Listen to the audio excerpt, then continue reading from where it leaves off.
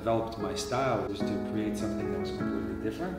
And I think that's what I loved about what you guys are doing. This artist has been dubbed the next Andy Warhol. At Emblem, it's all about timeless. This wasn't a project where we wanted to just put Daniel's name on it or hang a piece of his art. It was really about taking the mindset. I don't know another artist that's alive that takes a classic, takes an icon, and respects its classic nature, but creates something new and beautiful by injecting and infusing what's relevant today. We've designed and accomplished something really special that I know I am, and I'll speak for you, I know you are, uh, very excited for us to unveil.